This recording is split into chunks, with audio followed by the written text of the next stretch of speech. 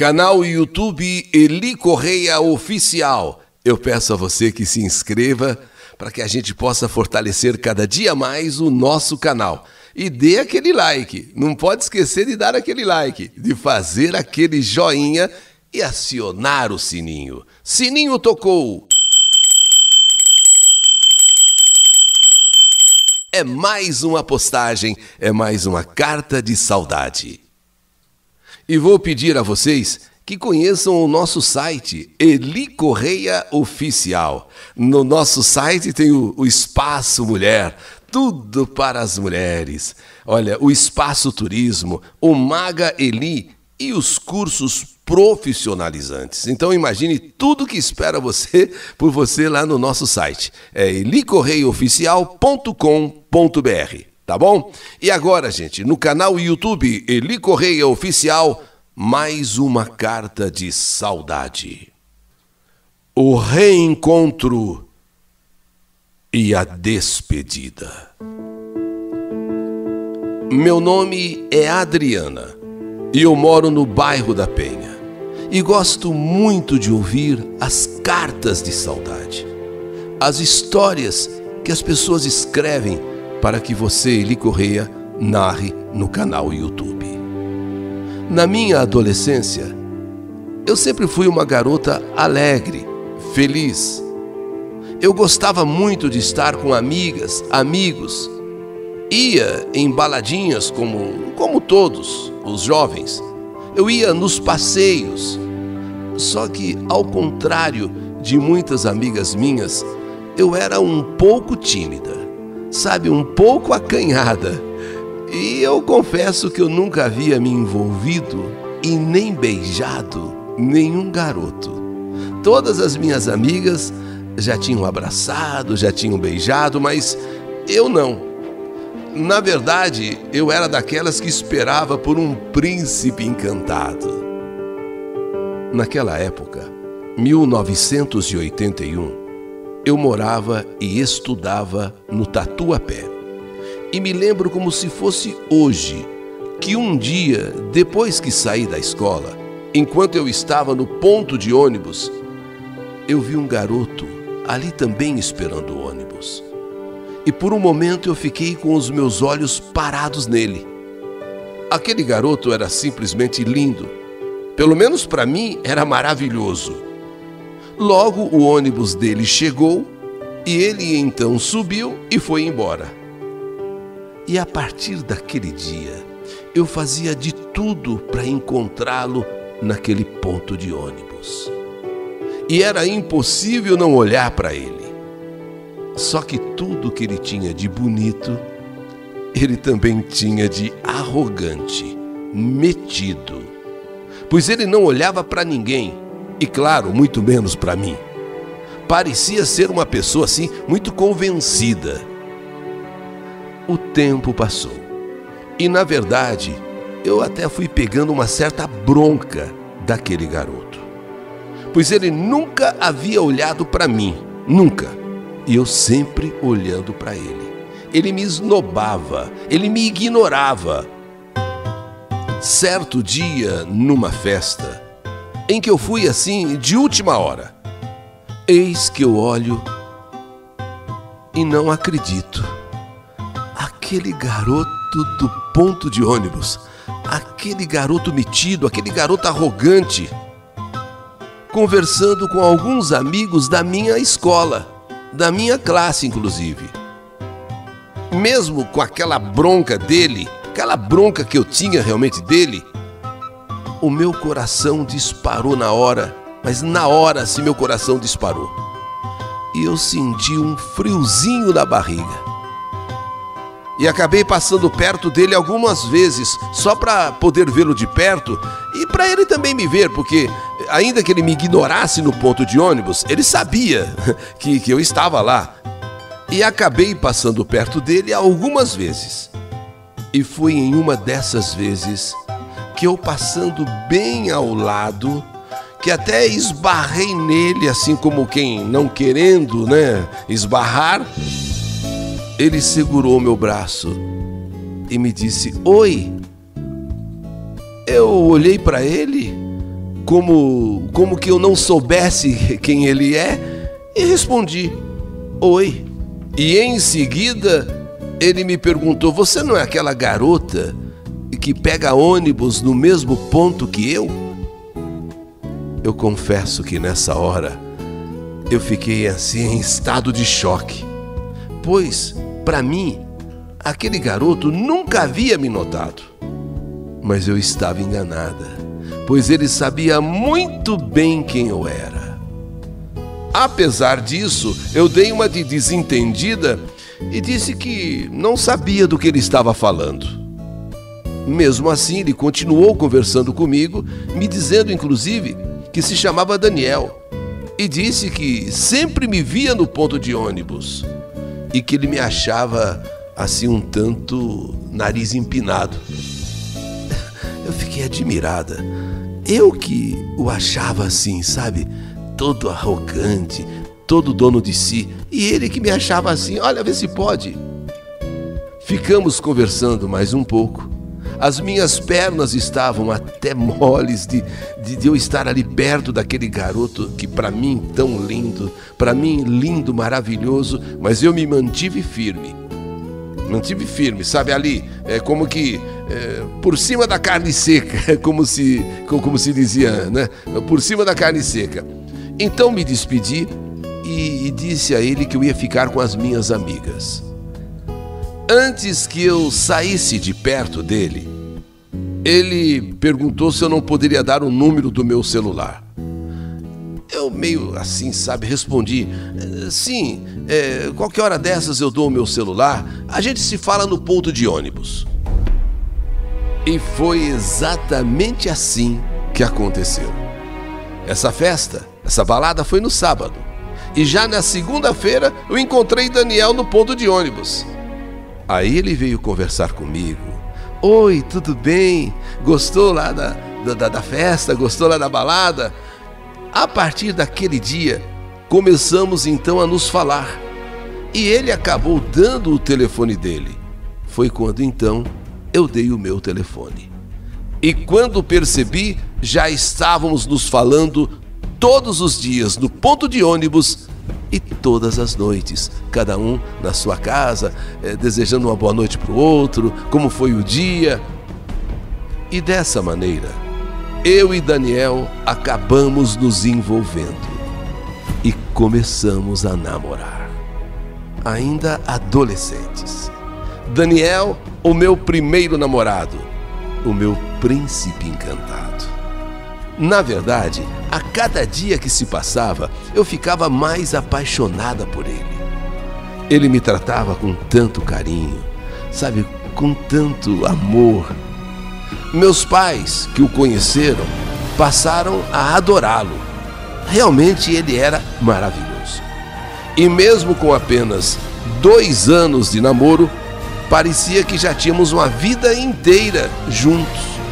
E nós já fazíamos inclusive planos para o nosso futuro. Dois anos de namoro e passou tão rápido. Nós já estávamos pensando já no amanhã. Sim, já no nosso futuro. Casamento, eh, família, filho, sabe? Acontece que Daniel morava na casa de uma tia. Ele passou a ser criado por essa tia depois que os seus pais morreram em um acidente aéreo.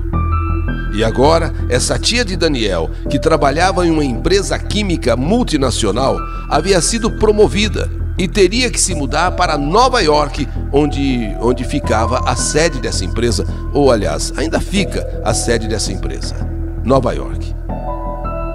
Quando Daniel me deu a notícia que ele teria que acompanhar a tia, ele teria que mudar com a tia para Nova York, eu por pouco não tive um ataque cardíaco. Por pouco eu não sofri um infarte. Eu não conseguia imaginar como seria a minha vida longe de Daniel. Mas não havia o que fazer, não tinha o que se fazer. Nada, nada, nada poderia ser feito. Ele teria que mudar com a tia para Nova York. E assim foi feito. Afinal, essa tia era por assim dizer, a própria mãe de Daniel. fora ela quem ficou com a guarda dele e o criou desde a tragédia que vitimou os seus pais.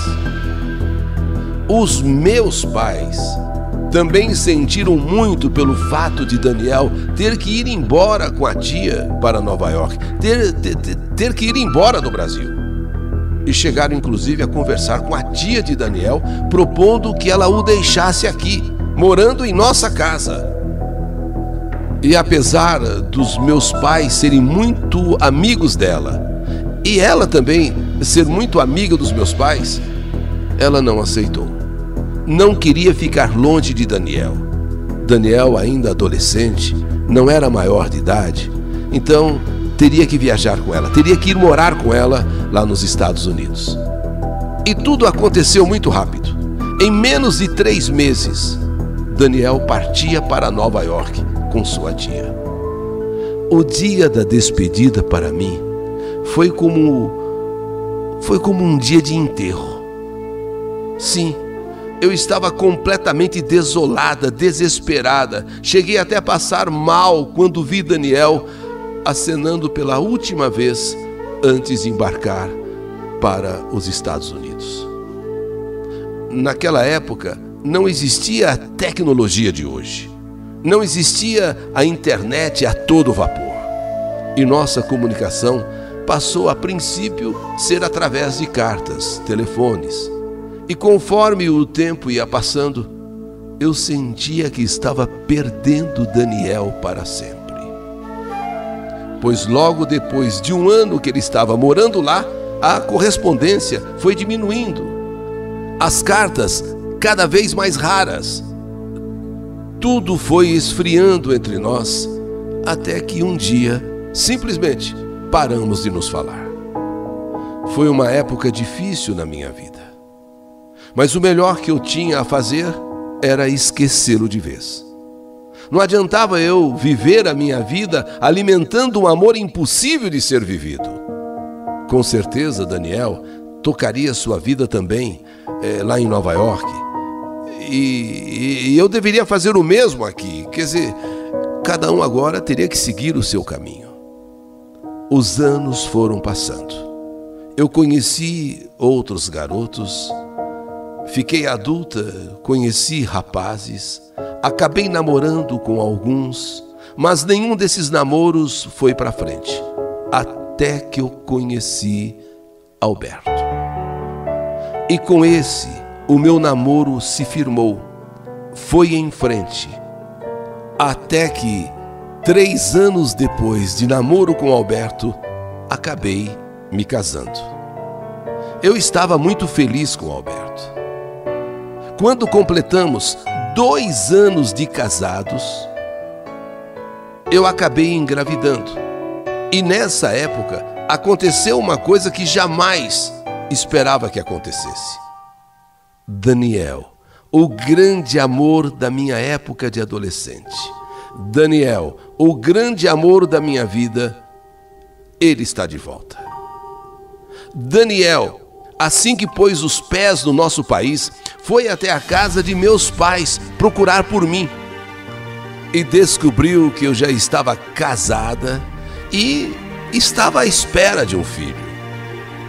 Apesar dessa notícia, minha mãe disse que ele ficou muito feliz por mim.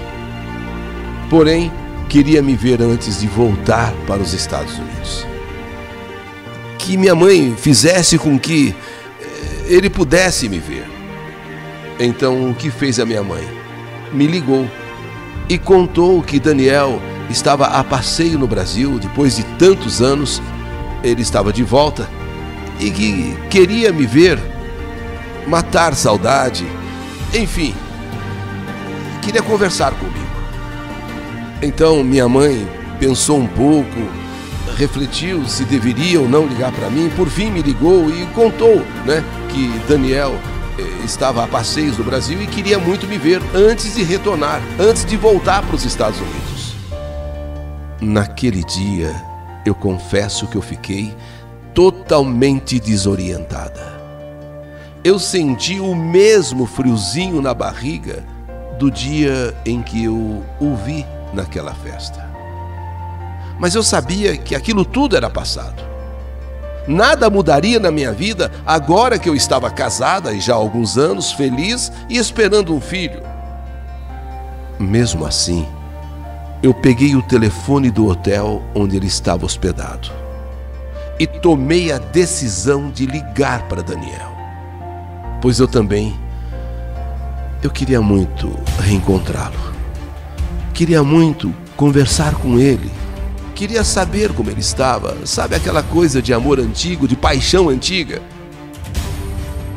Telefonei, marquei um encontro e fui até o hotel na região central de São Paulo. E quando nos encontramos, eu fiquei emocionada de tal modo que eu comecei a chorar foi como reviver todo o meu passado. Apesar do tempo que tinha passado, dos anos né, que, que, que nos separavam, Daniel continuava lindo. Nos abraçamos, as lágrimas correram soltas, tanto de meus olhos como dos olhos de Daniel. Quantos anos nós não nos víamos? Quantos anos? Éramos adolescentes. Tempo passou, os anos passaram. Sentamos ali no restaurante do hotel e durante alguns minutos ficamos calados, sem saber o que falar um para o outro. E então Daniel começou a contar sobre a sua vida em Nova York tentou explicar o que havia acontecido, o porquê de ter parado de me escrever, eh, de telefonar para mim. Bom, mas eu disse que ele não precisava explicar nada. Tudo aquilo era passado e já não importava mais. E foi aí que Daniel falou algo que eu jamais esperava ouvir 17 anos depois. Sim, já tinham se passado 17 anos da última vez que nos vimos lá no aeroporto. 17 anos depois. Ele pegou minhas mãos, olhou bem em meus olhos e disse: Adriana, eu sei que você está casada.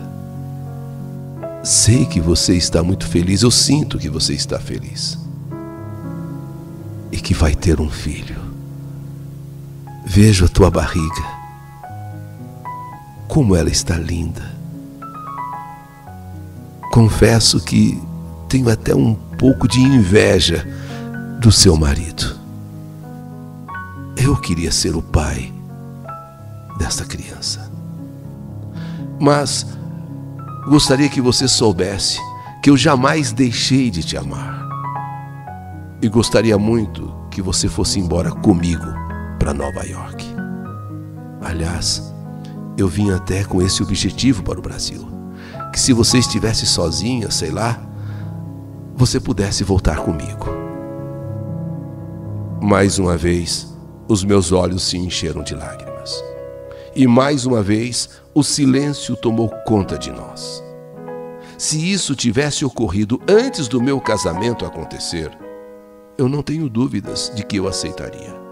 Deixaria tudo, tudo para viver com Daniel em Nova York. Mas agora, tarde, tarde demais.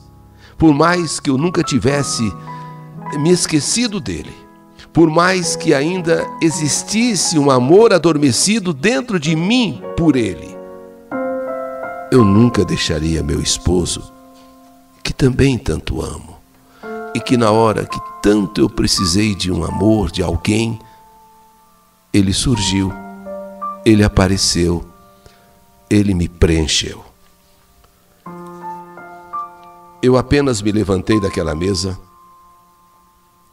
abracei Daniel carinhosamente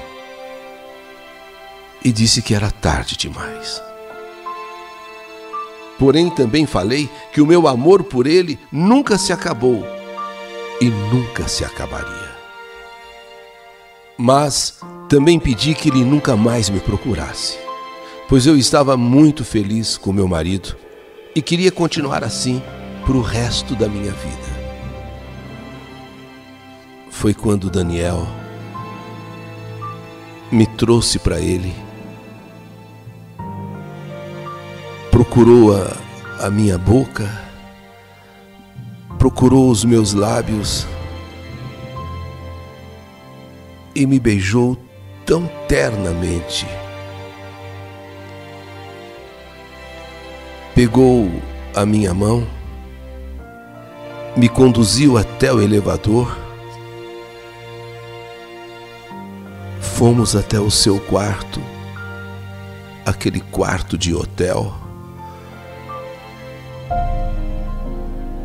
Eu não tive forças para resistir para dizer não. Quando ele começou a desabotoar a minha blusa. Quando vi, nós dois já estávamos na cama.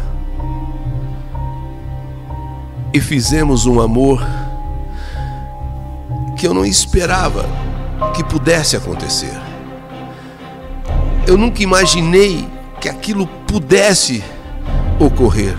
Mas aconteceu. E foi um amor tão bonito, um amor, posso até dizer, puro, como se fôssemos ainda aqueles dois adolescentes de 17 anos atrás. Nos amamos, nos amamos com tanta ternura, com tanto carinho. Foi o amor do reencontro e o amor da definitiva despedida. Fui embora daquele hotel me questionando por que eu fiz aquilo ou por que teria feito aquilo. Por fim, me acalmei e disse: tudo bem. Era um amor que eu precisava viver. Era um amor que eu precisava sentir. Intimamente, pedi perdão para meu marido e também para o meu filho que eu tinha em minha barriga. Ainda tenho um amor muito grande por Daniel. Não sei definir ao certo esse amor, mas sei que é amor. Porém, nunca mais nos falamos e definitivamente nos despedimos naquele hotel. Naquele hotel do reencontro e da despedida. Esta é a minha história. História que a vida escreveu. Que saudade de você!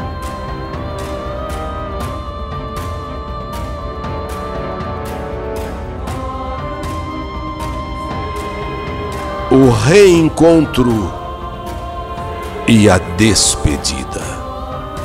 História do canal YouTube Eli Correia Oficial.